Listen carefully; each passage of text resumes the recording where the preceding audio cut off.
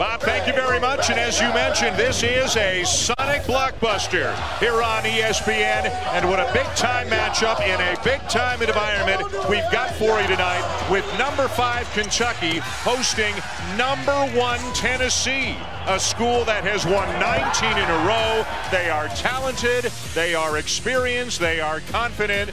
And they're here with a big Blue Nation looking to pull off a win on the road tonight. They're a game up on LSU for top spot in the SEC. Kentucky two games back of Tennessee. Hi, everybody, and welcome to Lexington. Dan Shulman, Jay Bilas. So many fascinating aspects and matchups in this game. Let's start with the fact that one of these teams is a whole lot more experienced, Jay Bilas, than the other. Well, Tennessee's the number one team in the country in large measure because they do have talent, but they are an older team. They're made up of juniors and seniors that have been through it together. That means they're like an old school team that was constructed like in the 80s or 90s when guys stuck around. Kentucky more the new school team where they're freshmen and sophomores. They rely upon their younger players. Will experience dominate or will talent playing at home dominate? That's really the issue in this game. And if we look at one specific matchup in this game, it's hard to not look at Grant Williams on one side, PJ Washington on the other. That's the marquee matchup. Grant Williams, the reigning SEC player of the year from Tennessee. He's a junior, averages about 19 points per game. He's fantastic in the middle of the floor, commands a double team, and excellent passing out of that double team. And PJ Washington for Kentucky is having a terrific season, especially over the last seven games. He's averaging 21 points, almost nine rebounds per game over that seven-game stretch, including shooting over 50% from the field and 50% from three, 11 of his last 22. You don't want to be a big guy who's accused of ignoring guards, though. So let's talk about the point guard matchup as well. Well, I think it's going to be an excellent matchup. Jordan Bone, I think, is the best point guard in the Southeastern Conference. He's got a very low error rate. His assist turnover rate is over three to one, and he is leading the SEC in assists over six and a half per game. He's accounting for it with assists in his scoring about 30, 33% of the, the Volunteers uh, scoring. And Ashton Hagans, who has not played well his last few games, he has struggled a bit, but he's such a great defender. He's going to have to get up and into Jordan Bone and try to make him turn his back, make it difficult for Tennessee to advance the ball up the floor because Tennessee wants to get out in transition so they can get the ball to Grant Williams early before he can be double teamed. Just moments away from tip, Maria Taylor is with the head coach of the Vols, Rick Barnes. All right, coach, you got to win in this arena before. What is required of your team to have success against Kentucky tonight? Just play good basketball, transition defense, rebound the ball, and take care of the ball. All right, thanks. And Rick Barnes, well, he's got to barge his way back into his own huddle after that interview with Maria. The Vols are ready to go. The Cats are ready to go. Let's take a look at tonight's Sonic Blockbuster in anticipation of this matchup between Tennessee and Kentucky. Their first of two regular season meetings. The Vols are on the longest winning streak in school history. Their only loss came to Kansas in November in overtime on a neutral court. Kentucky 11 and 3 all time at home in top five matchups. This is the 11th time there's been an SEC matchup with both programs ranked in the top five. Kentucky's been in all 11 of them over the years.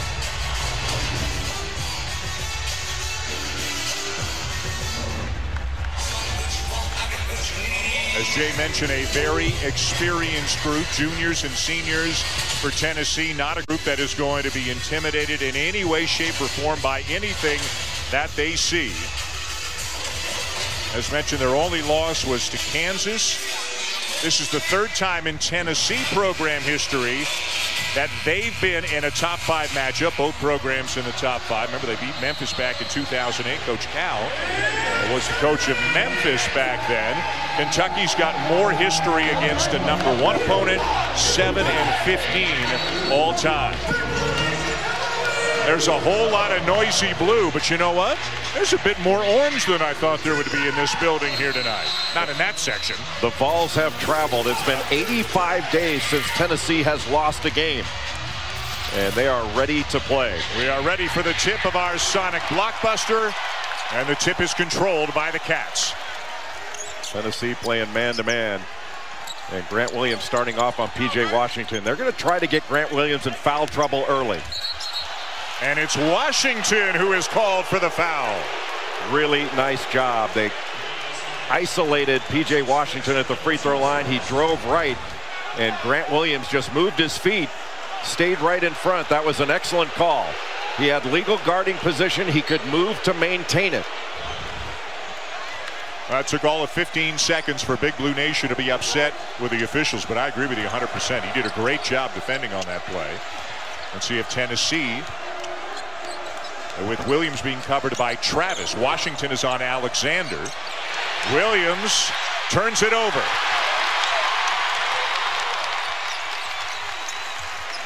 The matchup between Bone and Hagans is a huge one for this game. Hagans fends off the defender but couldn't finish the layup. Admiral Schofield got knocked down, a little bit slow getting up.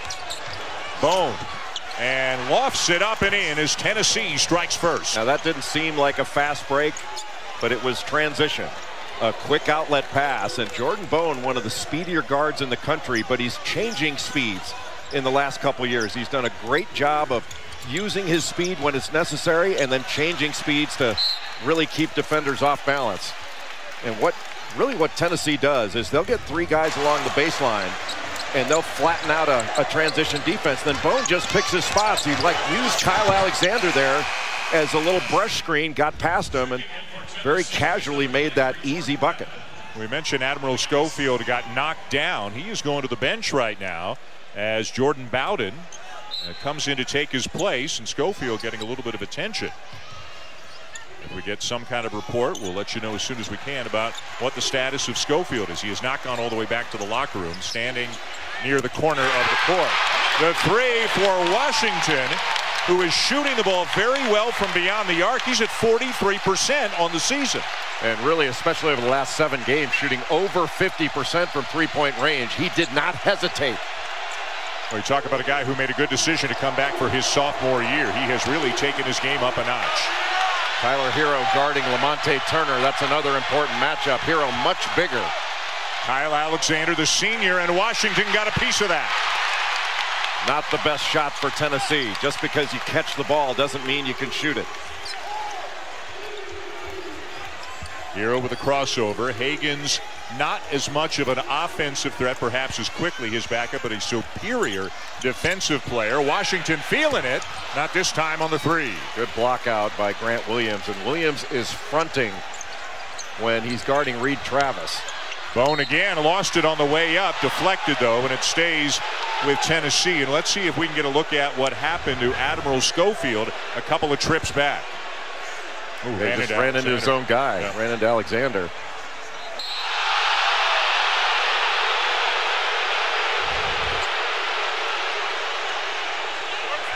Inbounded to Lamonte Turner, who hit a huge shot in this building last year in what was ultimately a two-point win for the Vols.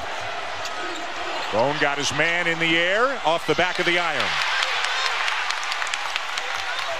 I think Jordan Bone is the best point guard in the Southeastern Conference. He's having a spectacular season.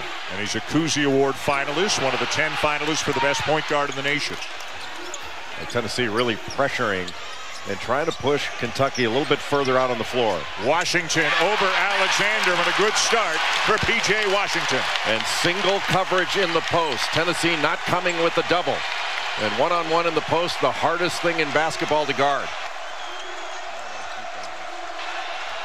And P.J. Washington showing he can go inside and out. Makes him a really difficult matchup. Shot clock running down on Tennessee, down to seven. Step back by Turner. Not there, and Travis down with a rebound for the Cats. Really good defense by Tyler Herro. Keldon Johnson gets his first touch of the night. He's got Bowden on him. And now Hagans up top as John Calipari calls out a play. Well, that was a nice job by Tennessee to get back in transition. Herro trying to penetrate. Kick to the corner. Washington with a drive and a foul called on Alexander. P.J. Washington getting the ball in the low post. He looks in the middle to see if a double's coming and just paused for poise in the post and then went right in for that little jump hook over the outstretched arms of the defender. That was just excellent post play by P.J. Washington. I like that. Alliteration. I think you should patent paused for poise. Paused for strong, poise yeah. in the post. A lot of alliteration from anxious analysts. PJ Washington, as Jay mentioned, hot lately. 20 or more points in six of his last seven games, and a good sign for Tennessee as Admiral Schofield is back in the game.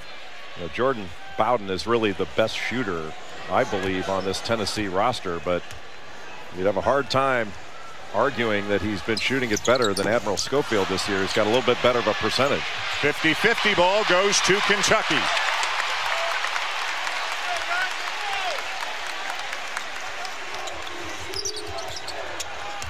Travis barreling his way into the paint, lost it, and it belongs to Tennessee. Well, Tennessee needs to get the ball to Grant Williams. He's a very good passer. Get him the ball in the elbow. He's being guarded by Travis. Here comes Schofield off a screen, elevates and knocks it down. And when Grant Williams is used as a screener, he draws a lot of attention. And Admiral Schofield can rise up so quickly. Shoots in the mid-range, shoots from three-point range. Six-six and 240 pounds, too, for Schofield. This is not a, a long and tall front court for Tennessee, but they are wide and they are really good players. Washington again. He's got all seven for the Cats. Not sure there's a more confident player in the SEC right now than P.J. Washington. And a sloppy possession right now for Tennessee, but it'll be out of bounds to the Vols when we come back. And when we come back, a little bit more inside the Tennessee program, we'll take a look at how Grant Williams and Admiral Schofield changed their bodies over the last three years. ESPN's exclusive presentation of college basketball is presented by H&R Block, in person or online. Block has your back. And in part by Cadillac.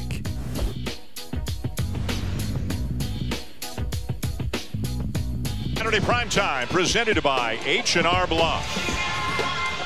You're watching the SEC on ESPN. Coach, a little bit about Grant Williams, Admiral Schofield, how they have transformed themselves in the last few years. Maria Taylor has more.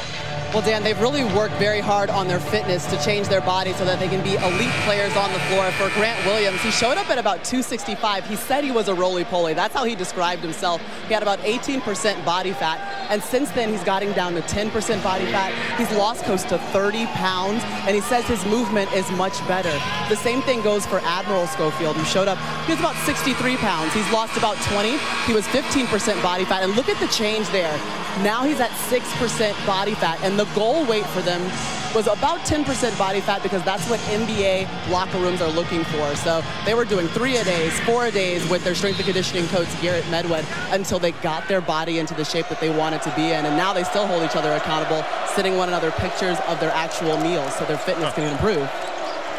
Hi, Maria. Thank you. Great story. A, a story uh, from Rick Barnes when Williams was a freshman. His mom sent him like 50 bags of buttered popcorn. Barnes intercepted the package, knew what it was, wouldn't let Williams have any of it, put Williams on the treadmill, and then walked up behind him eating the popcorn while the poor kid was on the treadmill. nice guy, that Coach Barnes. Gets his point across. Yeah. Well, you could tell when Williams got the ball back in the post when he drew all that attention. He passed out of the post to Lamonte Turner, got a wide open three, just didn't knock it down. But anytime he gets double coverage, he can pass over people. He's an excellent passer, especially from the high post. Immanuel Quickley, E.J. Montgomery in off the bench for Kentucky. John Fulkerson has come in now for Tennessee. Both teams about eight deep. Keldon Johnson baseline floater. Wow, tough shot. Kentucky running that set where they run a cutter off the elbows and then they'll get a little pin down screen on the other side. They ran that almost exclusively against LSU. Williams knocks down a three. That is his 10th made three on the season. Reid Travis just not used to guarding a big guy out there as a trailer. He usually waits for him to get to the free throw line, meets him there. He's going to have to pick him up a little higher. Montgomery giving Kentucky some good minutes lately. A lot of rebounding when he's in the game. Quickley turn, turns it over on a travel. Grant Williams coming down the floor as a trailer. And Reid Travis, that's his assignment, but he's in the lane waiting for him to come down and come into the low post or get near the elbow of the free throw line where he likes to operate. And instead, he just pulls the trigger on an easy step in three. Williams gets a breather. Jordan Bone has come back into the game. One thing you know about this Tennessee team, Dan, even in a, a difficult atmosphere here at Rupp Arena, this team is not going to panic. No. You know, they've been here before. Is there a is there a high major team that combines the mental toughness and the physical toughness to the degree that Tennessee does? That's a good question. I don't I don't know that I've thought about it that way. I don't know. And nothing comes to mind. I mean, these guys are all juniors and seniors that have been there before. And as we saw, they've been in the weight room as well. Johnson with a runner, no. Fulkerson keeps it alive. Nick Richards down with the rebound. Boy, Johnson we, went down yeah. hard. And Ron Groover blows the whistle to give Johnson a chance to get up. And good to see him get up so quickly after he hit the deck so hard.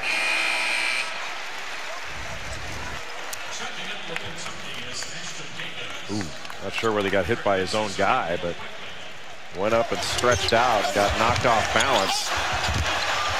Hmm. When Johnson had got off to such a great start, but the last four games, he's averaging about 12 points a game, but only 15 of 42 from the field. Not as efficient as he has been. Everybody getting a touch on this possession for the Wildcats. Still lots of time.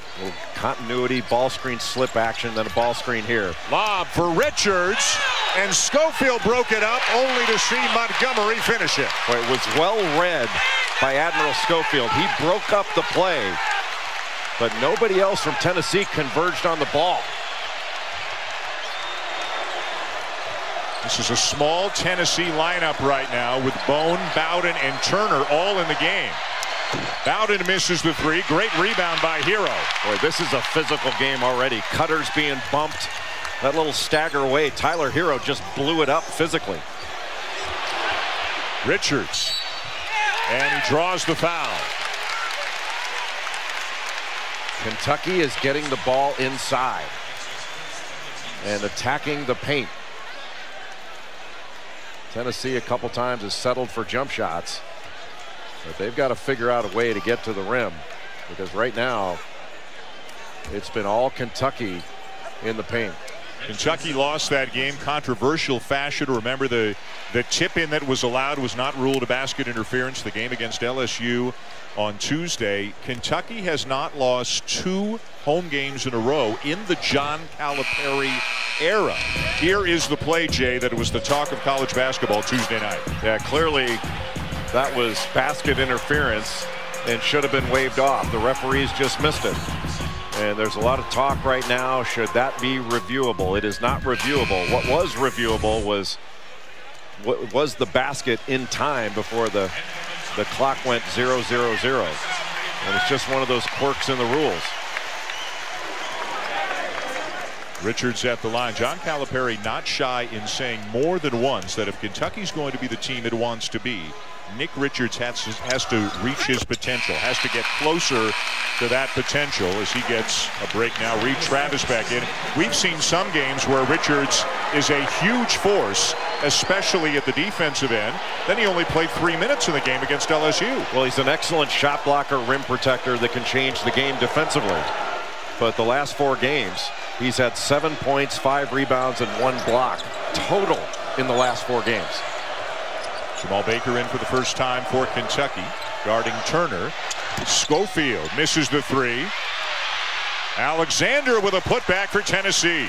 Grant Williams kept that ball alive, and Admiral Schofield set a little back screen. Then he was open for that shot. Tennessee does such a good job on the offensive glass of just keeping the ball alive. If they can't get the rebound, they will tip it to keep it alive. Travis got knocked down. Play continues. Shot clock inside 10. Johnson open on the wing. Count it. That was set up by the penetration of Ashton Hagans. Got a piece of the paint and then kicked it out. What a drive by Jordan Bone. There's some of that elite speed that Rick Barnes compares to TJ Ford, the great guard that he had down in Austin. Well, I think Jordan Bone needs to put more pressure on this Kentucky defense and really drive it. What a pass from Hagans to Johnson. And it's all because of the penetration. Ashton Hagans is putting the ball on the deck and putting Tennessee in rotation.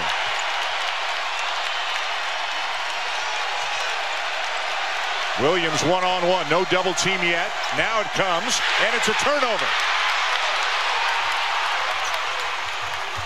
Johnson again. And way too strong. Tennessee ball. That's good. Bone rises up for the mid-range jumper and it brings the Vols back within four. Well, he is such a good player. Solid defensively, a low error rate. And he has been outstanding all year long. Three to one assist to turnover ratio for Jordan Bone, averaging close to seven assists per game to lead the conference. Johnson in the corner this time. Got another one.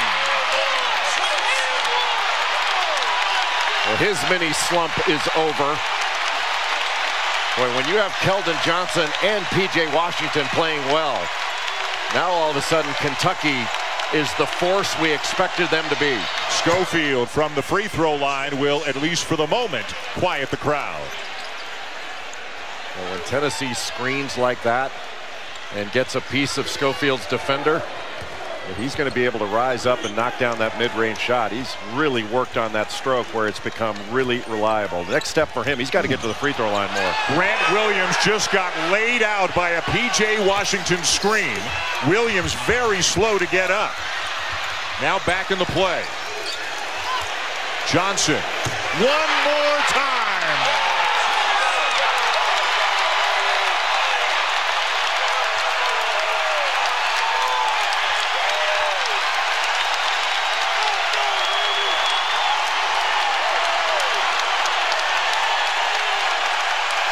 Absolute bedlam right now at Rupp Arena with Kentucky out to an eight-point lead on the number one team in the nation. This is the way Kentucky is capable of playing. They are playing a lot of people and everyone playing at a high level, but especially P.J. Washington and Keldon Johnson. Johnson secures the rebound and finds Hagans. Baker's open. But Kentucky has been so much more physical than a physical Tennessee squad. They are just knocking bodies all over the place on their defensive end. Jay, I think we've gone about five minutes of game time without a whistle here. And it hasn't been for lack of contact. Ask Grant Williams about that. Driving, kicks to Schofield, wide open for three. Just have to knock down those open shots. Those are open shots. Turner had one. Schofield's had a couple. Kentucky is making their open shots. And Tennessee right now is not. That has been the difference. Keldon Johnson has scored the last 11 points for the Wildcats. A good job by Grant Williams to stay in front of P.J. Washington. Travis trying to slip by Alexander. And Williams has been working his tail off on both ends. Looks a little bit winded right now as there is a ton of body contact yeah. out there. I don't think we could blame any of the 10 guys for being winded the way this one is going. Tough shot by Schofield. And now Williams down hard on the court again and slow to get up one more time. What a frenetic pace.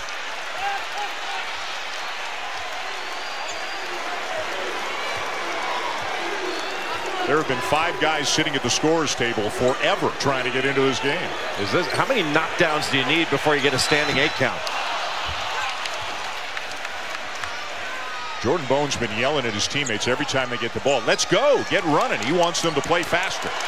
Well, they need to play ahead of this Kentucky defense because five on five, this has been a fist fight. Bone the kick. Williams the three. Big shot for the Vols. All by the penetration of Jordan Bone. Penetrated down to the baseline and then passed back out. You know, it's not like Tennessee hasn't been getting some open shots. They're getting them. And a foul on Lamonte Turner to take us to a timeout.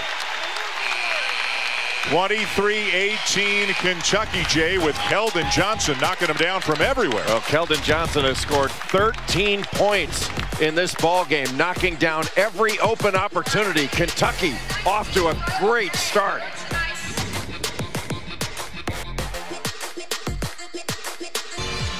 Keldon Johnson, the freshman from Kentucky, is having a great game. Five of nine from the field, 13 points. He has one steal. Every open opportunity, it seems like he has knocked it down. Three of five from three-point range. Kentucky overall, four of nine to stake themselves out to this five-point. It seems like an early lead, but it's kind of a late first half lead. last whistle was somewhere near the 13-minute mark. And here comes some reinforcements on both sides. You know, another guy who's having a great game so far is Ashton Hagans. What a quarterback he's been. Four assists, no turnovers so far. He is on, no, he stays in there as Quickley comes in as well. So a two point guard look right now for Kentucky. Maria Taylor with a report from the Tennessee huddle. Well, Rick Barnes basically looked down at the box score and said, hey, two guys have scored. All we have to do is do a better job defending on P.J. Washington and Keldon Johnson. And he also said, right now we're settling for jump shots. Do a better job putting the ball on the deck and trying to make something happen. Grant Williams the foul. Thank you, Maria. And right back to another media timeout. 6.15 to go. Kentucky leading Tennessee by five. When we come back, Jay Bilas, P.J. Washington go going 94 feet. By popular demand. 94 feet with PJ Washington brought to you by Smile Direct Club. What is your favorite thing to eat? Favorite thing to eat is chicken wings. Favorite breakfast cereal when you were a kid? I used to like Honey Smacks. Favorite destination for a vacation? I love going to Hawaii. Game of horse, roster wide for Kentucky. Who wins? Tyler Herro. Last shot, you guys are tied to win the national championship. Who do you want taking the shot? I'm taking a shot. What if it's a three? Tyler. All right, what's the biggest difference between PJ Washington last year and PJ Washington this year? My confidence. And where'd the confidence come from? Like, how did your confidence change? Uh, just working in the gym and getting better. Getting better, 94 feet. And we did it here. oh, Jay. what a great kid. Yeah. Succinct answers, too. Yeah, you had to go deep into your bag of questions there. Uh, the first player since the Twins, the Harrisons, a few years ago to score 10 points per game and then come back for his next season. And as we mentioned earlier, a great decision for him and obviously a huge boost for the Kentucky program that he returned for his sophomore year. Yves Pons guarding Tyler Herro, who is running off those low post screens. Richards spinning and finishing. Big time move down on the block. Hasn't had success over the last four games, but Nick Richards looking very confident and right now, throughout the game, Kentucky has been getting a piece of the paint. That's what's opened things up for their open shots. They're getting into the paint first. Yves Pons baseline. You see him playing with a mask. Suffered a facial fracture in practice. Had to have surgery. Missed one game. Played sparingly during the Vols game this week. But an important guy off the bench. But this could have been very serious. A fracture kind of near his cheekbone where the cheekbone moves up towards the temple. Uh, required some surgery and a tough kid to be back in there just a few days later. Right now for Tennessee, not really a lineup where they're going to be throwing the ball inside. Grant Williams on the bench. And so they're, they're going to need to find open opportunities, wide open Pons. And he knocks down a corner three. Just a little screen for the screener action on the wide box set. And Yves Pons was so open that he actually hesitated before he took that lefty jumper. Tennessee, one of the best offensive teams in the country, as Herro responds with a baseline jumper. Tennessee top 10 in the country in scoring, number one in assists per game, number two in the nation in field goal percentage. Tyler Herro is moving so well without the ball. If you go over the top, of a screen. He is going to fade to the corner like he did just there. That was an excellent read of the defense by Tyler Herro. Bowden baseline into traffic, finds Alexander, and a couple of cats got him, and now it's Hagans in alone. There is just no getting around it. Tennessee has to be stronger because right now Kentucky is manhandling the Vols. This has they've been out physical all game long. which you don't say about Tennessee very often at all. And it's not that Tennessee hasn't been physical. It's just that Kentucky's been stronger. Herro runs down the loose ball. And that was not a good possession for Tennessee. One pass, shot went up, didn't make the defense move or really work. Hans chasing Herro around a couple of screens. And you've got to chase him so much, it's going to open up something for someone else, including for the screener. Who was P.J. Washington in this case. It, it's Herro missing that long jumper, but look at Richards working on the glass. Well, John Calipari loving every minute of Nick Richards' contribution. He's got a confident big guy that is making a difference.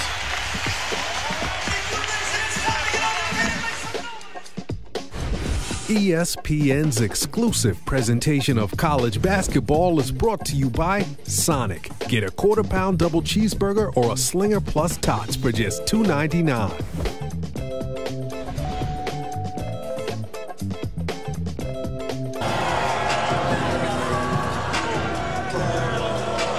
Right, Kevin. Well, we had college game day from a different location here in Lexington, Kentucky, Memorial Coliseum, and it seemed to work out for the half-court shot. McKinley Webb knocked it down, and that means 19,000 goes to him.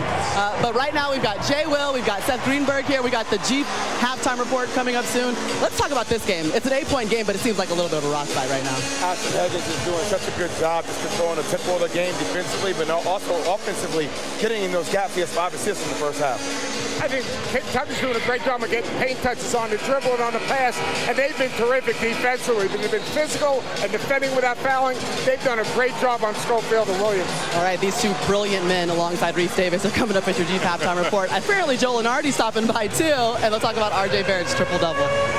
Very funny. Hi, Murray. Thank you. There's the uh, McKinley who made the shot at game day today. And if you don't believe me, watch this. Excellent form, and no doubt about it. I think that was like his fifth effort. Looked like he was running out of gas a little bit and then threw that one in. That was really impressive. You know, Coach Greenberg talked about Kentucky defending without fouling. And he's exactly right. 16 minutes. They've only allowed 21 points. Jay, Kentucky's only committed one foul in this game. Remarkable. And they have been unbelievably physical as well. Two. And you know what's funny about their, their two fouls? They're both offensive, both offensive fouls. Remember, P.J. First Washington the game. got one, yeah.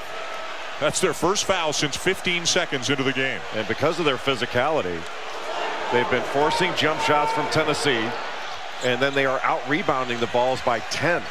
They've dominated the glass. Good roll replace action and a great drive. Richards with a block. Well, he could really be a game changer with the defensive end. Schofield sizing up Washington. Gets it off the glass and good. Tough runner there by Admiral Schofield. What helped there was Grant Williams posting so hard down on the low block. It looked like that Schofield might throw it into him. But instead, he drove and he did a good job of shielding off another shot blocker. Good position for Washington. No double team. And he'll finish again. No way if he gets two feet in the paint one-on-one, -on -one, he's going to miss that. P.J. Washington has a 7-3 wingspan. That's his ninth point of the game. He had the first seven of the night for Kentucky. Then Keldon Johnson took over. Schofield for three. Weak side rebound. Williams. He'll kick it out. Tipped by Herro, Gathered in by Turner. Brown thought that Williams might have lifted up that left foot, but he didn't. Instead, a great look to Bowden.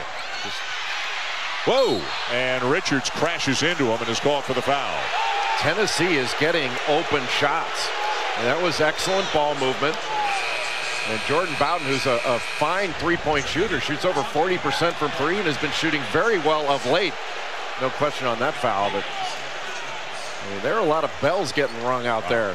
I mean, how many guys have been hit hard, hit the deck hard? This has been one of the most physical games that we've seen all season long. Tennessee number one, Kentucky number five. Of course, if Kentucky's trying to play their way up into a number one seed, a win tonight would be a nice step in that direction. A long way to go, though, in the season still. Kentucky is really fighting through screens. Another terrific drive by Admiral Schofield.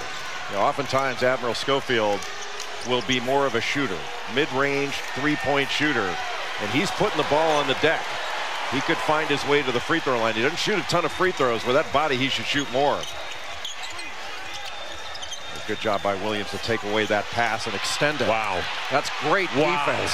What a play by Williams and a bucket at the other end for Turner. That's just for a ball reversal to get that pin down on the other side. And Grant Williams not only extended it, he took it away. And Tennessee, as well as Kentucky has played in this game, just down by four. What a fantastic defensive play by Grant Williams. And then Lamonte Turner scores on the other end. John Calipari unhappy.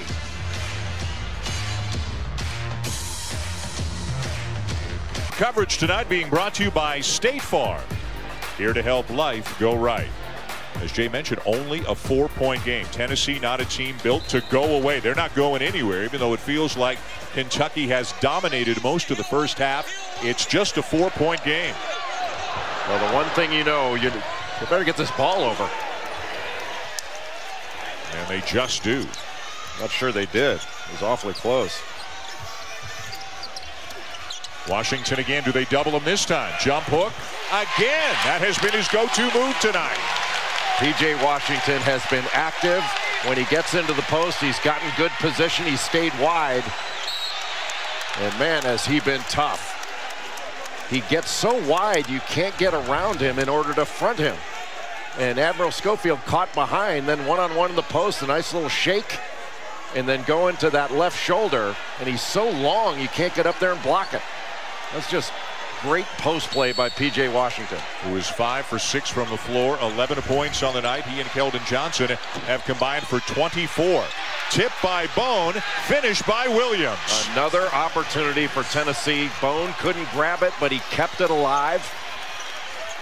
Tennessee's so good at tipping those offensive rebounds and taking advantage of it. The second guy grabs it. And for Grant Williams, Jay, that's his first two-point field goal of the night. He's previously made a couple of threes in this game. P.J. Washington's got to get the ball. Again with Schofield. Help this time from Turner. Doesn't matter. He has been fantastic in this first half. A go-to scorer for Kentucky. Bone using the screen, pulls up for the jumper and knocks it down. How easy was that? Got the screen from Grant Williams, old ball screen, and then he rolled hard to the basket and rolled his man down, and Jordan Bone just took his time and waltzed into that shot. Shot clock turned off. And away from the play, Bone called for a foul. Hey, Monday, number four, Virginia's in Blacksburg to take on number 22, Virginia Tech. It is our rivalry week, Big Monday matchup, 7 o'clock Eastern Time on ESPN and the ESPN app. Kerry Blackshear doing a fantastic job in Virginia Tech's win today at 29 points. Well, as Jay mentioned a couple of times, an extremely physical game here tonight. If you're just joining us or if you don't believe us, there's some video evidence of some of the things that have gone on. We've had some very big, strong people get knocked down to the deck on a few occasions tonight. This has been as physical a game as we've seen all year long. Bodies have been hitting the deck. You've seen guys that got, that, that's usually called a foul. I mean, it has been physical beyond belief. Bodies flying all over the place. And yet, neither team got the one and one. With all that contact, neither team got the one and one. They're going to meet again in two weeks in Knoxville. Leading the nation in bruises. Kentucky winning the rebounding battle, but Tennessee hanging right with the Wildcats on the offensive glass and with second chance points. 11 seconds, Kentucky to inbound.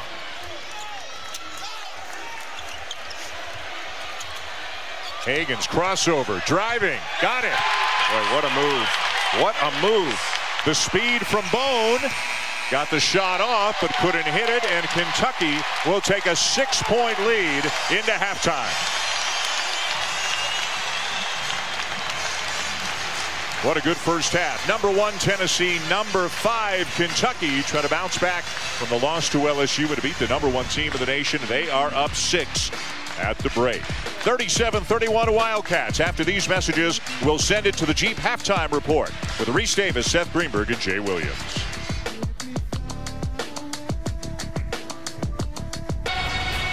Welcome back to Saturday Prime Time, presented by H&R Block. This is a Sonic blockbuster on ESPN.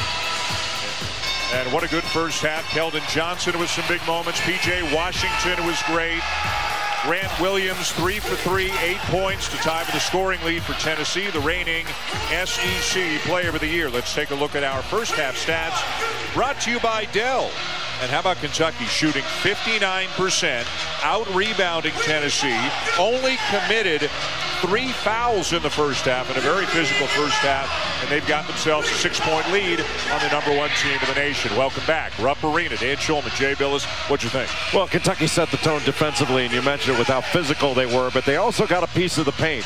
They got into the paint off the dribble, and then they got the ball inside to P.J. Washington. In order to keep it out of there, they're going to have to do Tennessee a better job of getting around in front and pressuring the ball so it can't be thrown so easily in there uh, Tennessee has to do a much better job on their end of getting a piece of the paint and getting into the lane because they've taken a number of jump shots, and some have been open. They just got to hit them. Maria Taylor with some thoughts from the Tennessee side of things. Yeah, Dan, I spoke with Rick Barnes, and he said a big problem they had in the first half is they simply weren't running their offense. They were one pass and shoot. And although that might not have been a bad shot, he wants to work through the offense a little bit more. They want to get out in transition, and they hope to get some more of these 50-50 balls that we're seeing with this physical game. And he also said that defensively, they just have to work harder and turn the emotions around in the second half. All right, Maria, thank you. We are ready for the start of the second half of our Sonic blockbuster. Kentucky with the opening possession and a six-point lead. How about Ashton Hagans? Five assists and no turnovers in the first half. Did a really good job defensively and put the ball on the deck, got into the lane. And they put Tennessee into rotation quite a bit. And look at that. Just so simple to get the ball inside to P.J. Washington, and he is looking like an NBA post player. He extends so high with that 7-3 wingspan, you can't block it or bother it. And it doesn't matter if it's been Williams on him or Schofield on him. He scored on both of them. Bone got caught in the air and turns it over. Hagans one-on-one, Euro step over Williams, no good. Travis with a hustle rebound. And Herro with a corner three. That was just Kentucky out hustling Tennessee on the offensive glass.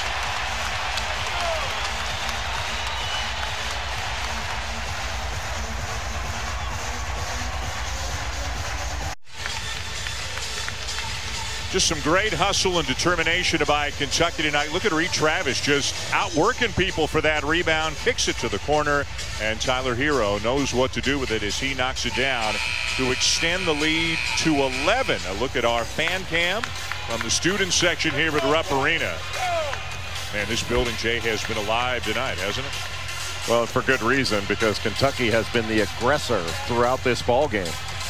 And that last play made by Reid Travis from the Tennessee perspective, Rick Barnes was looking at Kyle Alexander saying, "Are you going to go after the ball?" I mean, the ball came right to you, and you didn't get it, and then it cost it cost Tennessee a three. Allison Vanata, our thanks to her for working so hard in the student section, showing us some great shots about how it looks and feels for Kentucky fans tonight. Ball's loose, and again it belongs to Kentucky. And numbers. Herro, Travis. He got fouled. Yeah, there it is. That was just a simple little flex cut on the Tennessee end. And then a duck in by Grant Williams. Just a poor pass by Lamonte Turner in the turnover that led to the runout. I mean, right now, you know, Tennessee is not strong with the ball.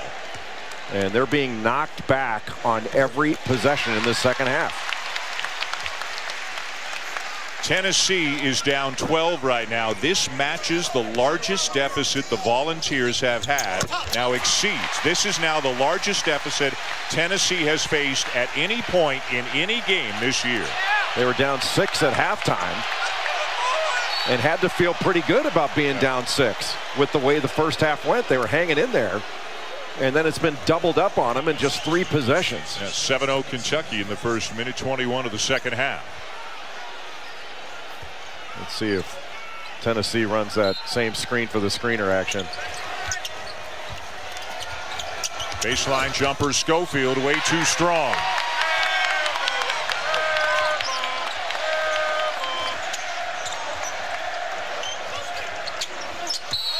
Washington fouled by Alexander.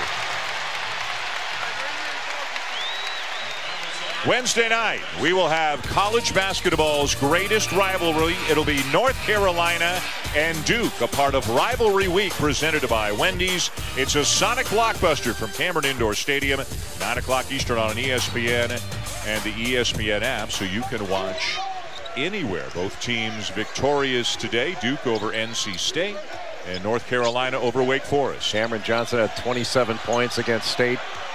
And then Zion Williamson had 32 against, or that was Wake Forest, 32 against NC State. And R.J. Barrett had a triple double. Yep, I think 23, 12, and 11 is what we saw. Turner with a three that rattles out. And no offense run by Tennessee leads to a run out. Johnson, good defense by Schofield, but Johnson scores anyway. This is getting away from Tennessee. They have been manhandled. Just manhandled.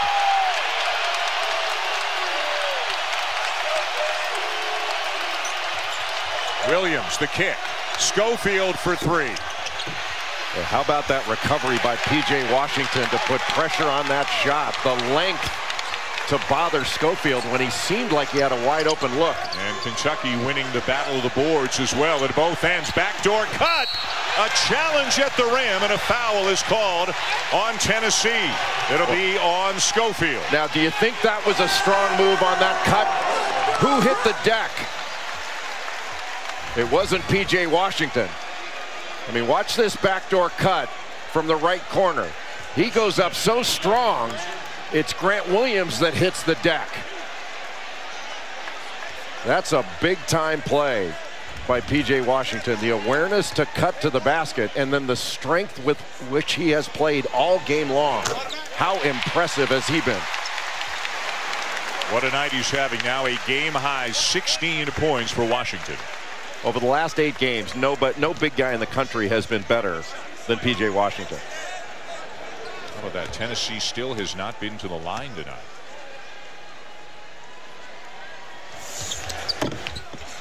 Kentucky has protected its paint so well in this game. Bone tipped away by Hagans. And it's going to belong to Kentucky. That ball hit Bone before it landed out of bounds. All of the emotion, all of the strength has been on Kentucky's side in this one. And they are running away with this one against the number one team in the country. They have outscored Tennessee 10-0 in the second half. And really, Tennessee hasn't had a good look at the basket yet. Everything has been contested. Hagans with a jumper.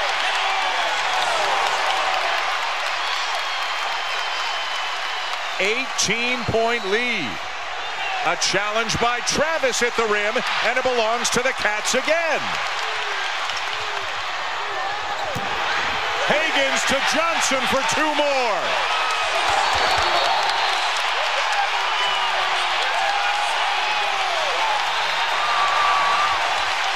This is the team that everybody thought was number one coming into this season.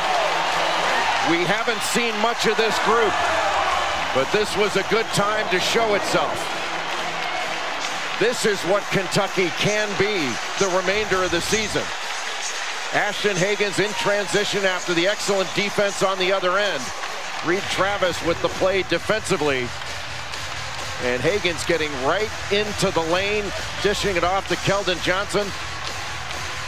And the emotion of a team that has played with tremendous strength against the number one team in the nation. 20-point lead, Kentucky, early in the second half.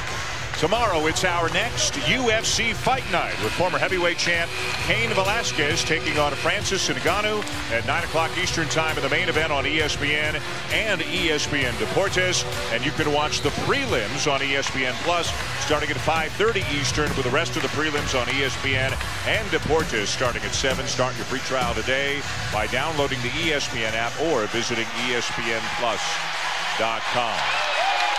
This is something. 14 nothing Kentucky run in the first three and a half minutes of the second half. Tennessee, without question, one of the best offensive teams in the country, has yet to score here in the second half. You know, I think I think Tennessee came ready to play. They were well prepared, but Kentucky came prepared for a UFC fight. I mean, they came they came prepared to battle it out in the octagon, and they are they have knocked Tennessee around from the opening tap.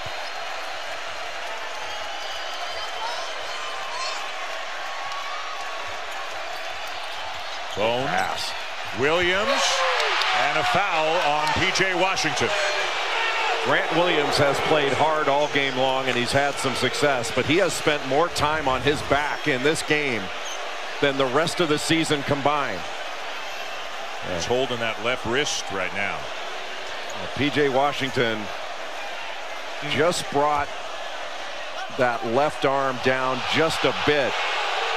But other than that, that was, there wasn't much there. He's allowed to go straight up. And I thought he did for the most part. First free throw attempt of the night for Tennessee. Those are tough calls there because you're thinking about, well, wait a minute, that was offense initiated contact. Did did P.J. Washington come down a little bit from vertical? Those are tough ones. Williams knocks them both down. Remember that incredible game he had against Vandy, scored 43 points, and it was a perfect 23 of 23 from the free throw line in that game. Tennessee bringing full court pressure. They got to do something to change the rhythm of this game because Kentucky's established the rhythm on the defensive end. They established a defensive rhythm in this ball game. And away from the play, a call going against Tennessee. Jordan Bone called for the foul. All Kentucky up 18 points. You're watching the SEC on ESPN. ESPN's exclusive presentation of college basketball is brought to you by Outback Steakhouse, Aussie Rules.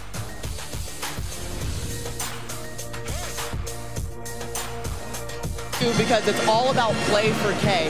And both of those games will be featured on Monday. And all of the funding goes to the Jimmy V Foundation. And both of these teams are obviously in the top 25 when you're talking about Notre Dame and NC State. And I know that you like Arike Ogunbowale, Jay. She's 33 points from being the all-time leading scorer right now at Notre Dame. Yeah, she passed Skylar Diggins. She's got over 2,300 points already. And you know, Oregon just beat Oregon State in Eugene, and Sabrina Ionescu had 29 points and nine assists in that game. And Oregon averaging 90 points a game. That leads the country. If you haven't seen Sabrina Ionescu play, she is as good off pick and rolls as any player in the country, male or female. Herro turns the corner. Can't finish, and a foul, though, is called against Tennessee. It'll be on Schofield. You know, Dan, Tennessee averages right at 20 assists per game. They're an excellent passing team. The Vols have five assists in this game. They've been essentially reduced by the Kentucky defense into having to go one on one and to take on five defenders with one action. They've been taken totally out of their offense. They're not shooting the three well tonight, three for 13. They're being out rebounded by nine. And Kentucky is shooting 62% in the game, 21 of 34. Yeah, five of eight in the second half. Mean, it has been all Kentucky. And every, every, basically every player that's come in for, for Kentucky has made a positive contribution. Bone to Williams. Fadeaway over Travis. Tipped by Schofield. Man, oh man. Well, he had to go up strong for that one. But how about the difficulty of that shot for Grant Williams having to shoot over the outstretched arm of P.J. Washington? He is so long. Ashton Hagans continues to be in complete control at the offensive end for Kentucky.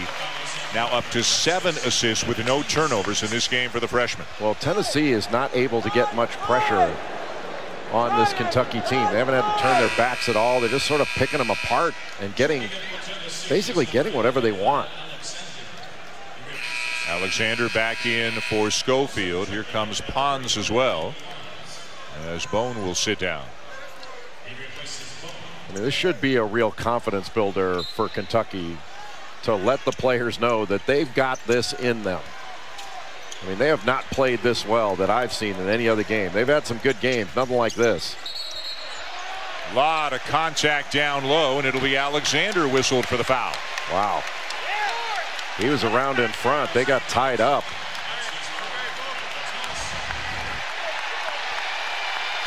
Uh, how is that his foul? That's interesting. And it's number four.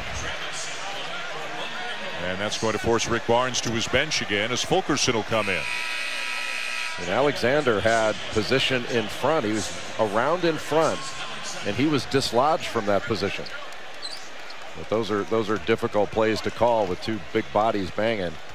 Yeah. How about bonus already, Jay? Barely five minutes into the second half. Well, the the fouls, the foul advantage usually goes to the aggressor, and it you don't have to have watched this game very long to figure out who the aggressor has been. It's been Kentucky. You know, people sometimes look at they look at free throw disparity and foul disparity. You know, there's a there's usually there's a disparity for a reason. And Tennessee has not put Kentucky in a position to foul as often as Kentucky's done that to Tennessee. Remember the report Maria had early in the game when Rick Barnes told his team, you're settling for jump shots too often. Well, they haven't been able to penetrate this defense. Williams. You know what he did there? He paused for poise. you like that, didn't you? I do. You you better patent that by the end of the night. Man, he is down. Well, again. that's not mine. That's that's Kevin Eastman's. Yeah. But yeah, he's spent more time on his back than I have seen. Good shot fake to get P.J. Washington off the floor. Just a simple little pick and roll and a pocket pass from Lamonte Turner. But he is drawing quite a crowd, and it is an angry crowd and a physical one. That was not a subway push. No. As some people know, Jay, you coached this young man in AAU a few years ago. There you are, back row, left head coach, your son Anthony on the team. Daniel Jones, Duke quarterback, played on that team, and Grant Williams. Yeah, it was a great group of guys. John Serby, former assistant to Jeff Lebo at, at Auburn. It was a lot of fun. And, and this Grant Williams was a, a terrific player in high school wasn't as heavily recruited as he should have been simply because his body wasn't there. He's a, a, smaller post guy that didn't have the body he has now, as Maria Taylor told us about. But he's got unbelievable hands, and you're not going to find a, a better young man. Maria? And actually, J.O. was assistant coach Desmond Oliver who spotted Grant Williams when he was in eighth grade playing at Providence Day in Charlotte. And he said when he got the job at Tennessee, he wanted to recruit him there and immediately brought him on And another foul down in the post. Reid Travis is being so aggressive trying to establish position. And this time it was Schofield who gets called for the foul, his third. Now watch, he goes right into the chest of Schofield and, and really backs him in. And I don't know what now Schofield grabbed his arm. That's what Doug Sirmons called there. I don't know what he can do. I mean, he just got knocked backwards. But again, the aggressor is getting the call, and the aggressor has been Kentucky. Now watch. Reid Travis goes right into the chest of Schofield and just knocks him off, but just he had that arm on him, and that's what drew the call. I mean, if that's not, we've been talking about, uh, you hear all these officials and supervisors talking about post play, and we've got to clean up the post. And, you know, if you've got that position, you're getting knocked off there. It's awfully difficult to play defense in the post. The lead is 20 for the Wildcats. Fulkerson can't handle the pass, runs it down, and finds Pons. Bowden off his screen. Rejected by Travis. Numbers for Kentucky. And the follow by Montgomery. Five white shirts going after the ball. And Tennessee slow getting down the floor. It has been a consistent theme all game long. As soon as that shot was blocked, it was a run out. And watch how hard Kentucky runs. And then compare that. Now, one ball was down, but compare it to look, nothing but white shirts. And look at all the Tennessee guys kind of jogging down. Wow. I mean, they, they, right now, Tennessee's a beaten team. They're a beaten team. Kentucky out hustling and out efforting a team known for its hustle and effort and toughness tonight. But you're right. Kentucky came out from the opening moment. P.J. Washington kind of established the, the tone of this game in the first couple of minutes, and there's been no let up. Now, I'm not sure that I'm a big believer in makeup calls, but we've had so little contact on this, but the foul disparity is being being evened out right now. Missed three by Bowden.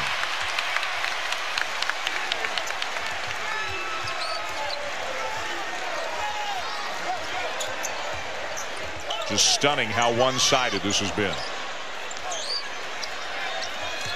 Travis, a size advantage on Pons. Tennessee's had to go small because of foul trouble, and Kentucky is owning the block. Got to go into Williams. Now, he was hooked by Ashton Hagans. Now, you wonder why that's not, you know, what's a hook and hold and what's not. That's another interesting part of this. You got a switch on the screen. And like, how do you, what do you call that? Like, did they just get tangled up or when, when are we calling the hook and hold and when not? I, I don't know. I mean, I'm glad they're not calling it, but you kind of wonder, like, what are we doing here? Schofield kept that pivot foot down and another tip in another athletic play on the offensive glass by Admiral Schofield. And did that with the left hand. But look how hard it is. Everything's contested how hard it is for Tennessee just to get a score. I mean Kentucky able to run their offense make their cuts. They're they're running their offense without breaking a sweat and they've made it incredibly difficult for Tennessee to get anything. And Travis scores on the block. And that could have been an and one. They're just bigger, stronger, and more resolute to get to the rim than Tennessee. Schofield misses the three. Rebound Travis. Just complete domination, especially here in the second half. It was only a six-point game at halftime. It's 25-7 for Kentucky in the second half. Kentucky hasn't punched anybody like this all year long. This is the best they've played, and it's not close.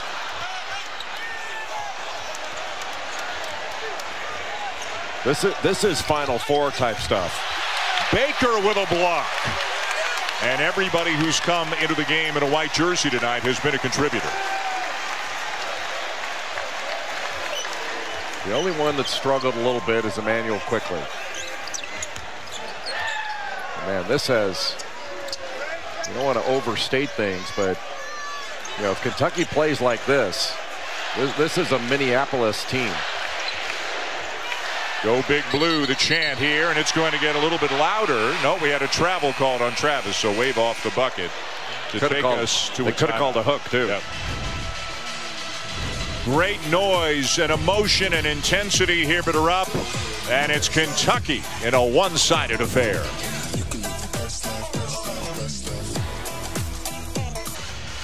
There is a big disparity on the scoreboard, and it has been because of the physical play of Kentucky. Grant Williams, the SEC Player of the Year, has been knocked all over the place. He has spent more time on the floor on his back than he has standing up in this game. And still he has 11 points and seven rebounds, but he's only got four shot attempts in this game. Kentucky has made it so difficult for Williams to get the ball in a scoring area.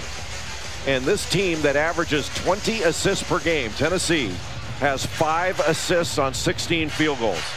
That's remarkable, the defensive job that Kentucky has done on this team that is averaging, what, 86 points per game. They've got 38 and not only are there about 23,000 people who are fans of Kentucky and enjoying this, but some former Wildcats are here as well. This is NBA All-Star Weekend. Maria Taylor is with one of those former Cats. It is. It's All-Star Weekend, so there's a little bit of a break. So Kevin Knox decided to come and watch his Wildcats. And, you know, you're a first-round draft pick. You went to the New York Knicks. You've played in Rupp. Now you've played in MSG. I need you to compare the two atmospheres for me. I mean, both is crazy. I mean, Rupp is like this almost every single game. Madison Square Garden is the same. I mean, the fans uh, show so much support.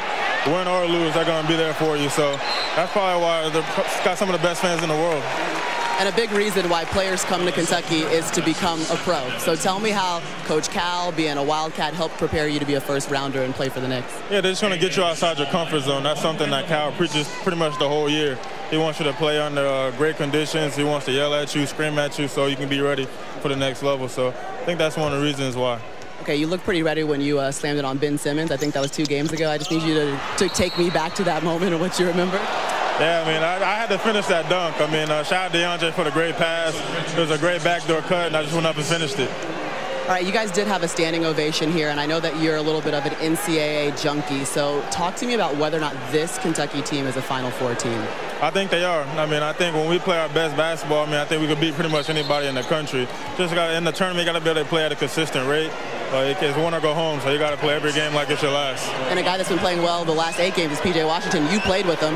What have you enjoyed about his game lately? I mean, he's just taking leadership of his team. I mean, he's taking over and basically being the man of the team. So I mean, he's got to keep playing like this. I mean, he's definitely got a shot at winning SEC Player of the Year. All right, we appreciate your time, Kevin. Enjoy the rest of the game. Thank you. Maria, thank you. You saw some of the former Wildcats who are here, among them Malik Monk, Michael Kidd Gilchrist, Wenyen Gabriel, and others are here. Again, this is All-Star Weekend, so all the guys playing pro have a little bit of time off. How about the difference in halves? In the first half, you didn't have a team in the one and one till the last minute of the first half. Now you're in the one and one halfway through the second half. Both teams. Different whistle in the second half than these teams got in the first. Last five points belong to Tennessee, but they're still down by a whopping 19-point margin right now. So it's tipped out of bounds with eight on the shot clock. Little 2-3 zone now for Tennessee. Just try to give a little bit of a different look to Kentucky. They haven't been able to keep the Wildcats out of the lane, off the glass. Nothing. Terrific pass. Tough shot for a Herro. And Schofield the rebound for the Vols. Open is Williams. And fouled on a three-point attempt by Nick Richards. And another hard collision with the court for Grant Williams, who's been knocked on his rear end all night long. Well, not a smart play by Nick Richards, trying to close out to the three-point shooter. And it was long after it was released. But he's still going to get three free throws. I mean, he didn't get hit till after he'd landed. But it's not a good foul. I'll take Grant Williams. He's going to need a cut man, like a corner man to take care of him. I, don't, I can't recall a game in which a, a big time player has been knocked around like he's been knocked around. And we are told the officials are looking at the monitor to see if it was a two or a three, and clearly you can see it's a three. So three free throws coming here for Williams. Fourth foul as well on Nick Richards. It's funny though, he wasn't fouled until he came down inside the line. Right. Isn't that, isn't that weird? Landed, yeah. like he wasn't touched right. until he came down. But that's just a, a, really odd play. I'm not sure I've seen a three-point shooter fouled so long after he landed. Because the shooter has to be given the right to land. Mm -hmm. But as, as well, he did have the right to land. Right. As you say, he was down. You're just saying, you know, you're just kind of saying, well, wait a minute, how long do you get before you're no longer the yeah. shooter? It's just, it was odd. I, am not questioning the call. It's just uh, you don't see that very often that particular way. And again, they've got a long way to go, but they're starting to make some inroads here. Williams makes this an 8-0 run for Tennessee. Now this is about stringing together consecutive stops and playing without fouling. Good ball movement. Open shot from the corner. Johnson the miss. Tip back out by Travis, but he knocks it right out of bounds. Right now for Tennessee, You want to not only get a good shot, but put Kentucky in a position to foul you. Now the crowd rallying, trying to help Kentucky at the defensive end.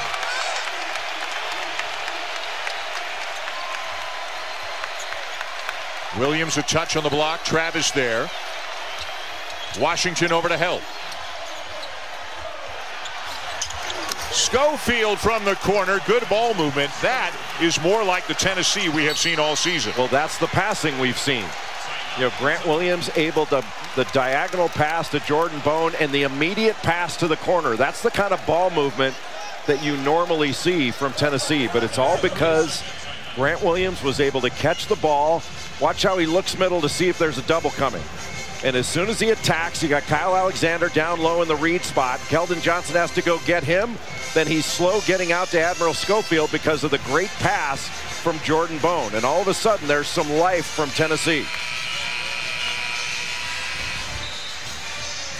Big Monday, we've got a great rivalry game for you. Virginia is in a Blacksburg to take on Virginia Tech. Mr. Bilas will be there. Part of the rivalry week Big Monday matchup, 7 o'clock Eastern time on ESPN and the ESPN app. Virginia with a six-point win over Notre Dame. Big games today for Hunter and Guy. Duke a game up on Virginia and Carolina. And of course, Virginia, Virginia Tech Monday. Duke and Carolina meet in Durham on Wednesday. And Duke with the obviously 11 and 1 with the lead in the ACC. And you're just looking at the schedule saying where, where might losses come? And there aren't that many. One, one could be Wednesday night against North Carolina. The 2-3 zone for Tennessee. Kentucky can't just pass the ball around the perimeter. They've got to penetrate the gaps of this zone, whether by the pass or the dribble. Interesting. Hagans was at the foul line. Now he steps out. Johnson throws up a runner, and Williams has it. Poor possession by Kentucky. Wasted too much time on the perimeter without attacking. Bone. And the wrestling match between Alexander and Travis, and the possession arrow will give it to Tennessee. Boy, Reid Travis just threw Alexander out of bounds. I think there's a little bit of a bulk difference in those two. Watch this. They both have the ball, and he just let him know. Travis is three inches shorter and 25 pounds heavier than Kyle Alexander. Got to get it in. Hagans just face guarding Jordan Bone. Schofield again from distance and another foul on a three-point attempt. Boy, that was not a smart play. And right now, Kentucky, the zone has been a big factor in changing the, the tempo of this game, but Kentucky making mental errors right here. You're not trying to block that shot, you're trying to pressure the shot. There's a difference. Trying to block it led to the foul.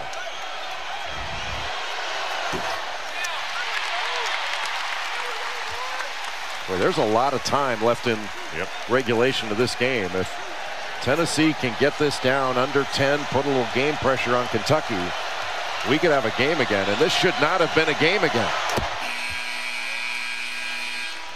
Bowden in the back in for Tennessee. Quickley in for Johnson for Kentucky.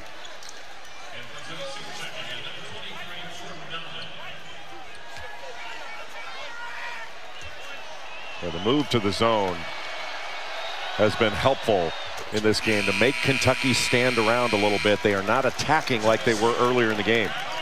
Schofield a breather after he makes two or three. Pons back in. It's now a 13 to nothing run for the Vols. Right now, Tyler Herro has got to be active. Little one, two, two, three quarter court pressure. Herro has to move and find a find an open spot. Herro two for seven, seven points on the night. Washington gets a touch near the elbow, drives it in and scores. A good movement by Herro to get open and then to get the ball to Washington, who was active in the middle of that zone. They stretched it out a little bit with their movement and caused the zone to move.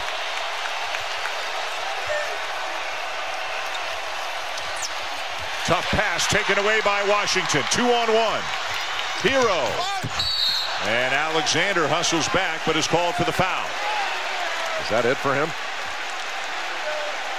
If it is Alexander, it is number five, and he knows it. He's walking off, done for the night.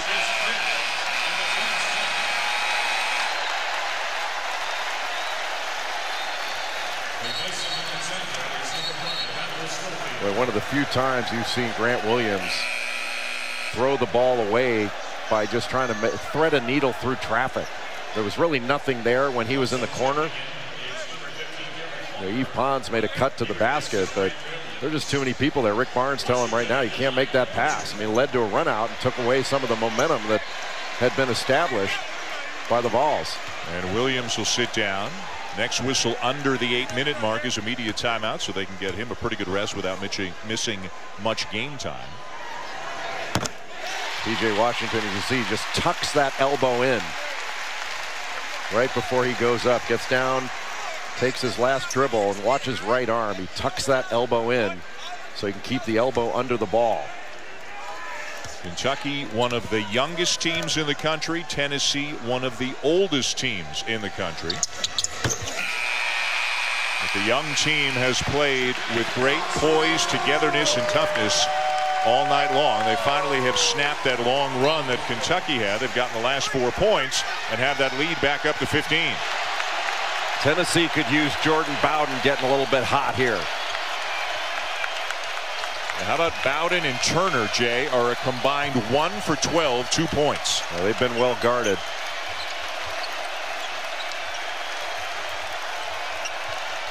Couple of double figure scores on the season. Schofield the drive. Good help by Travis. He's had a big night. The numbers may not show it that much, but he's been a part of everything. Just driving into trouble. First it was Admiral Schofield driving into trouble. And then I'll see your drive into trouble and I'll raise you. when you don't make the defense move and then you drive it, you are just asking for it. Bowden. And it goes. Maybe that'll get him going a little bit because he can't go over and have Tennessee win on the road. It's just not going to happen. His first points of the night, still a 13 point deficit.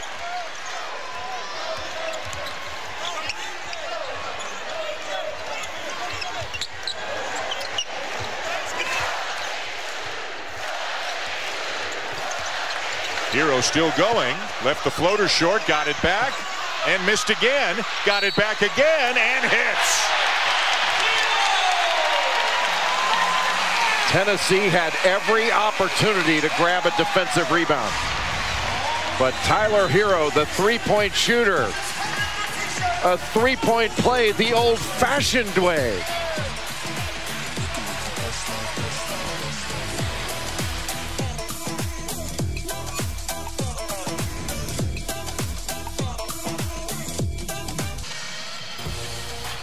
Aerial coverage is brought to you by State Farm.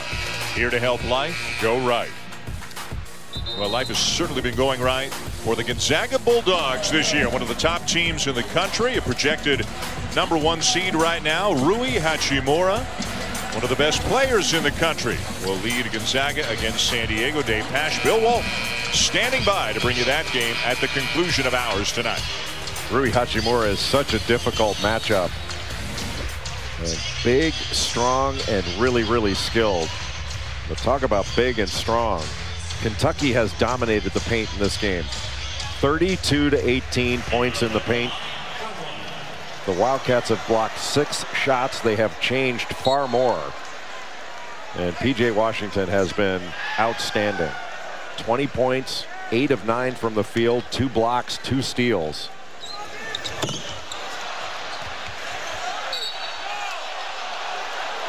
Tennessee ball, 6.43 to go. P.J. Washington getting a little work done on his left leg right now. You have to you have to credit his great play in this game to the 94 feet segment. well, you, of course, you have to. That would be an interesting study. We should do a, a, bit of an analytics study on how guys do after 94 feet. They do great. and even if they don't, they're just better for the experience.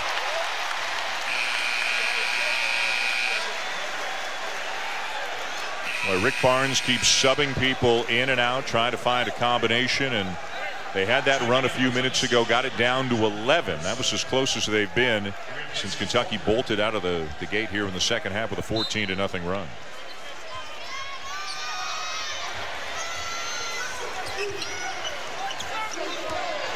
Back to the 2-3 zone. Tyler Herro is the perimeter threat. Manuel Quickley is a good shooter. He's turned the ball over a couple times in this one, but that's the guy right there. And Herro has it stripped away after a nice feed from Travis. Turner for three.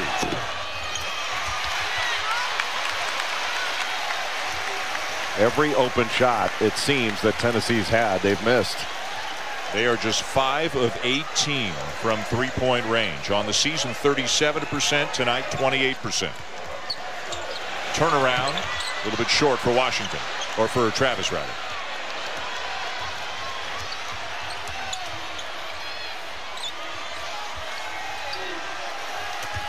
Nice cut, nice feed, but Bowden can't finish. He is fouled, though, by Quickley. Little stagger screen on the weak side, and they just cut it short. Bowden curling right around the first of the two screeners, and just got past Quickley and not enough pressure on the ball to discourage that pass from Admiral Schofield.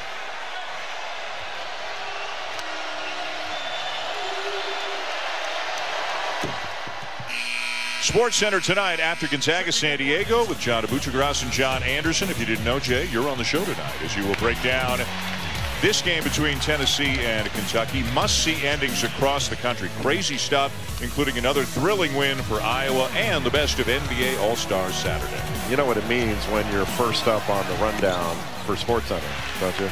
It's your big deal. It means ratings bonanza.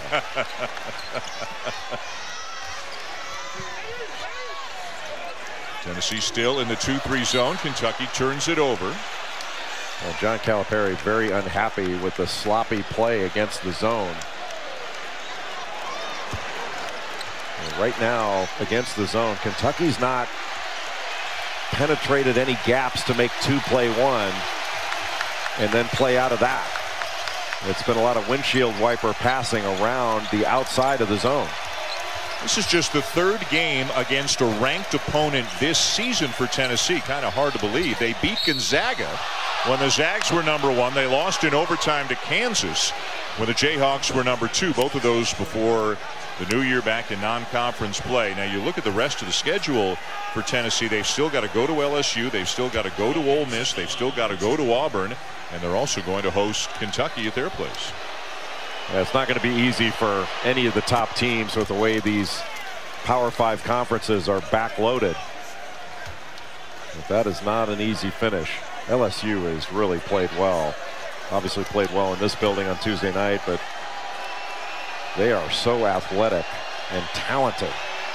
Tremont Waters, their best player, best scorer, but Naz Reid, an excellent player. I mean, they're Skylar Mays, they're very, very good. And if Kentucky wins this game, it really tightens things up amongst those top three at the top of the standings in the SEC. What great work by Washington. P.J. Washington has been in attack mode. Caught it, drove it, and he was first after that offensive rebound. Look at the reaction. Grabbing it with that left hand and then finishing the play. Now that's how you penetrate the gaps of the zone. He just blew by the top two defenders in that 2-3 zone and was quickest off the floor for that second opportunity. What a game P.J. Washington has had, and what a what a last eight games he has had. And Admiral Schofield becomes the second of all to foul out tonight for Washington. The seventh time in the last eight games, to Jay's point, that he has had 20 or more points. Well, Tennessee's got time for one last push. You just don't know if they've got enough energy to make that push. And would have to do it without Schofield. Good hands by Hagans.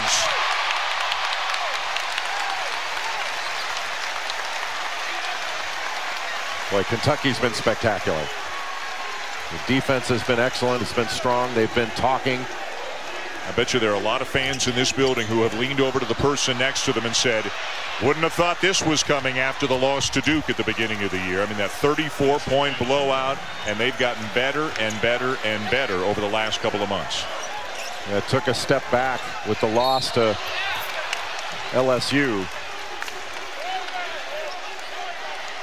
But what a performance by the Wildcats tonight, up 13 on the number one team of the nation, less than four minutes to go. ESPN's exclusive presentation of college basketball is presented by H&R Block. In person or online, Block has your back.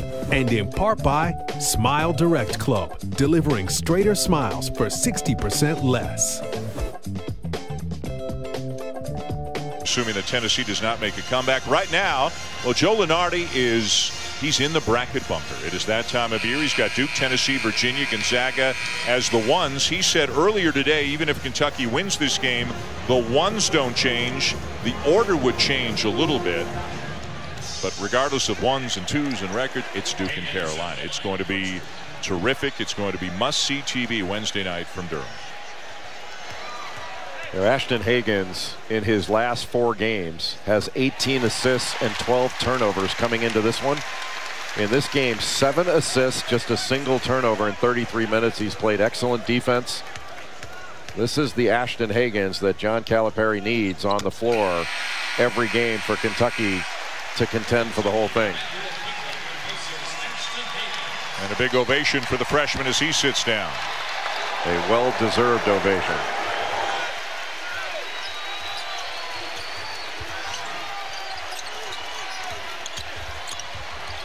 Another deflection and another turnover. Little screen rescreen action for Jordan Bowden. Then he drove it. But Kentucky just rallying to the ball. Just so active. Active hands, getting deflections. Good passes. Johnson baseline, yes. Oh, that's that's a great zone attack. Getting the ball inside, back out, and then reversed and attacking off the reversal. Fulkerson takes a bump and banks it home for Tennessee. Timeout Rick Barnes. Fulkerson just getting back to that right shoulder. He's a lefty and spun back to get to that left hand off the glass. Well, the game began with P.J. Washington taking over for Kentucky, and he has continued to have a great night. 9 for 11, 23 points. Well, P.J. Washington is talented, he's long, and he's very skilled.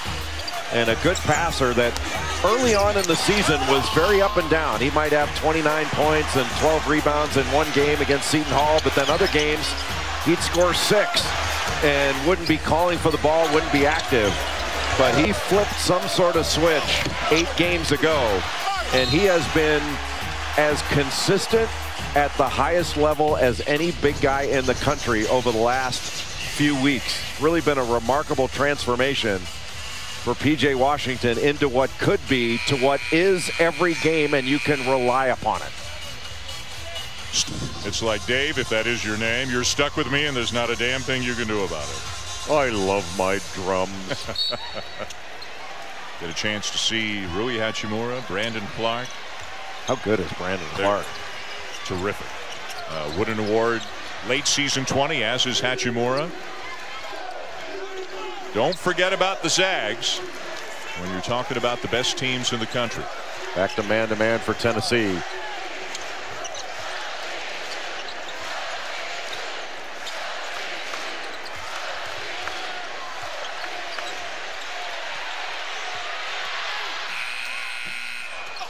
Wouldn't go down for Washington. Less than 2.30 to go. Tennessee ball.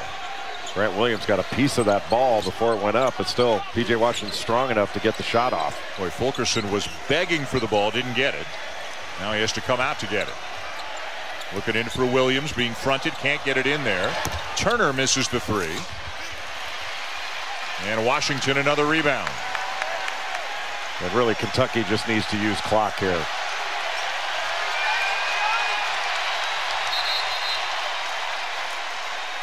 Didn't get it across in 10 seconds, so it's a turnover.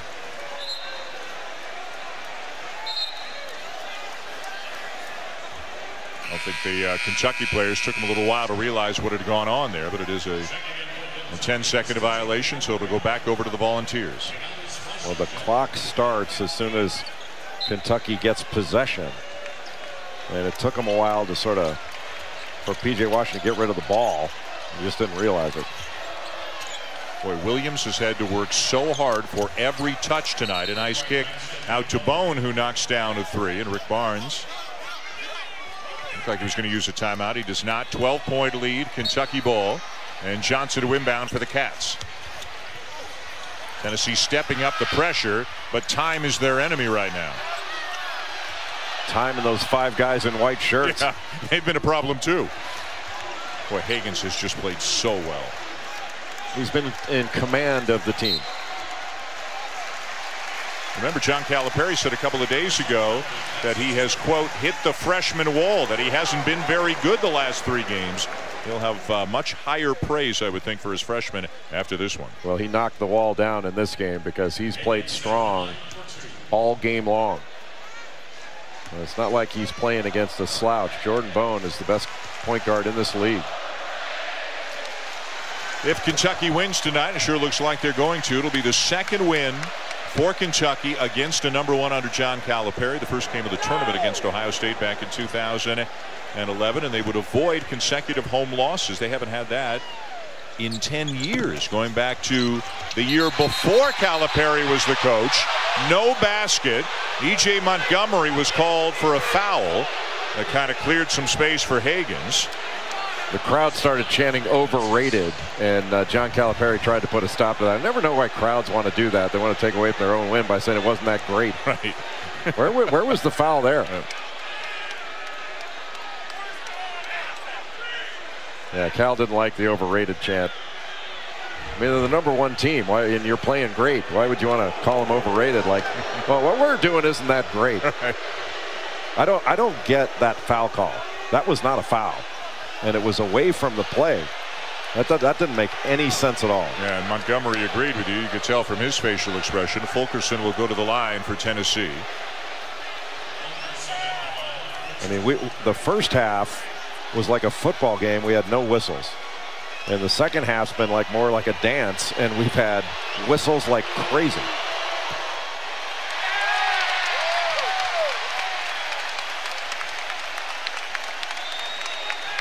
Schofield fouled out a while ago. Alexander fouled out even earlier.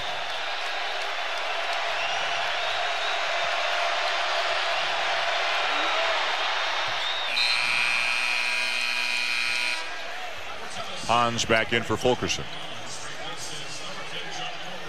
Right now for Kentucky, it's about making hard cuts, passing and catching and being strong with the ball and then knocking down free throws because you're going to get fouled. Williams fouls Travis. Tennessee came into the game averaging better than 85 points per game, seventh in the country, and shooting 52%, second in the country. And they're a long way off from those numbers tonight. Yeah, you didn't expect that Tennessee was going to come into this building and get into the 80s. I mean, you didn't think Kentucky would allow that. But the, the manner in which this game has been, this lead has been built up, I mean, it's been a physical fist fight. And it's been taken straight to Tennessee by Kentucky from the opening tap. I mean, they just manhandled the Vols in the first half. And still, it was a, a six point game at halftime. But the start of the second half, I mean, they just ran away. 14-0 run in about the first three and a half minutes of the second half blew it open. And the closest Tennessee got after that was 11.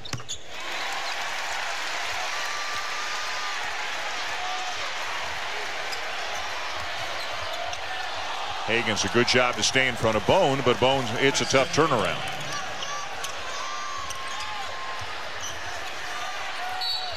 He's got to make some free throws here and there, and this one will be over.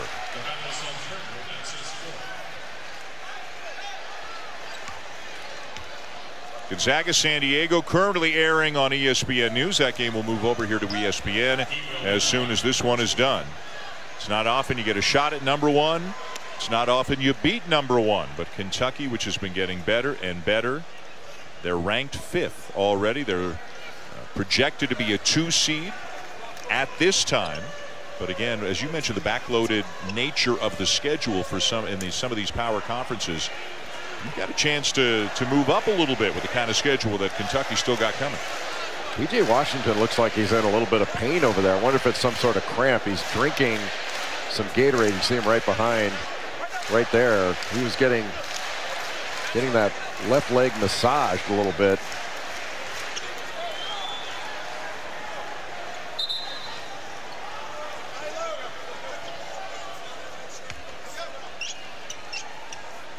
A little bit of blood on the court. I'm surprised it's just a little bit.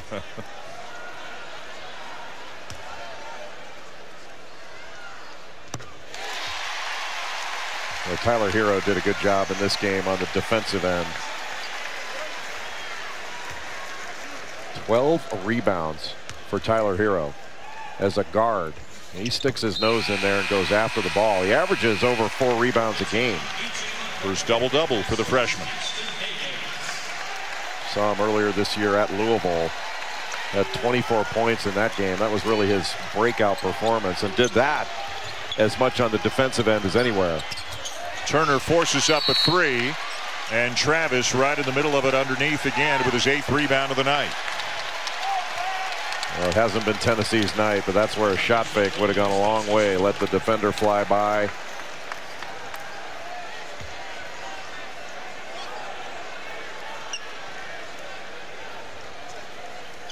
Interesting week for the Wildcats. The controversial loss at home here Tuesday night to LSU. What a year uh, Will Wade's team is having right now. And then Kentucky bouncing back with this extremely impressive performance against Tennessee. And look at what it all means at the top of the standings. If Kentucky wins, they'll go to 10 and 2. Tennessee would drop to 11 and 1. And Jay, you'd have three teams within one game of the lead in this conference. Yeah, really one of the big winners in this game has been LSU because the, the Tigers' schedule down the stretch is nowhere near as difficult as Kentucky's or Tennessee's. And there's Jordan Bone knocking down another shot. Man, that guy is a good player. He's the he's the best pro prospect on this Tennessee team. One game to keep an eye on. Tennessee will be at LSU uh, one week from today, February 23rd on ESPN at noon Eastern. It's not going to get much easier for Rick Barnes' team. A tough schedule the rest of the way. And Tyler Herro back to the line. One thing you know, though, it may not get easier, but it's not going to get more physical. Mm -hmm. A league right now with Joey Brackets projecting seven teams getting in, and he had Florida as one of the first four out. You want to talk about a team that helped themselves today. The Gators with an 18-point road win at Alabama today. Big win for them. And one by one, the Cats coming out to big ovations. This time it's Travis. Travis was excellent in the second half.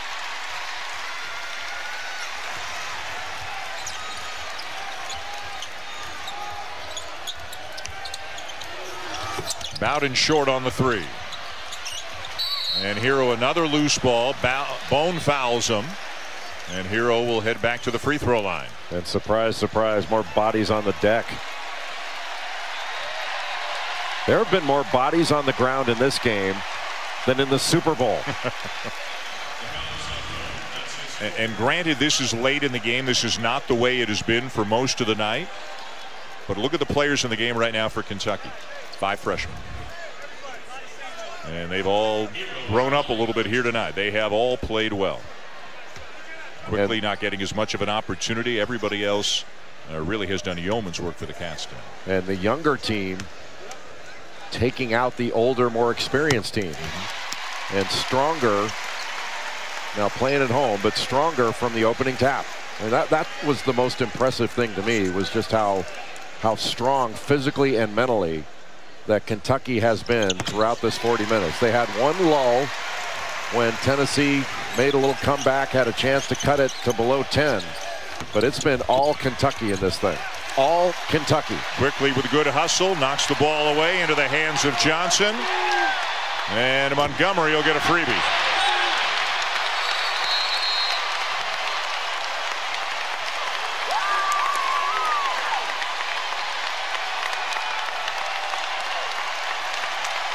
Big Blue Nation going to have themselves a fun Saturday night. Well, they've earned it. This is the best Kentucky's played all season long. The best they have played. Tennessee will suffer its first loss in a conference, just its second loss of the season. This will snap the Volunteers' 19-game winning streak, the longest in program history. What a performance by the Kentucky Wildcats here tonight, taking out number one. And doing it in convincing fashion.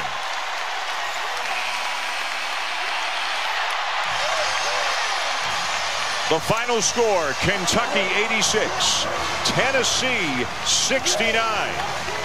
For Jay Bilas, Maria Taylor, and our crew, I'm Dan Shulman saying thanks for watching. From Lexington, more hoops coming your way to San Diego with Bill Walton. Here's Dave Pasch. I didn't get ice cream.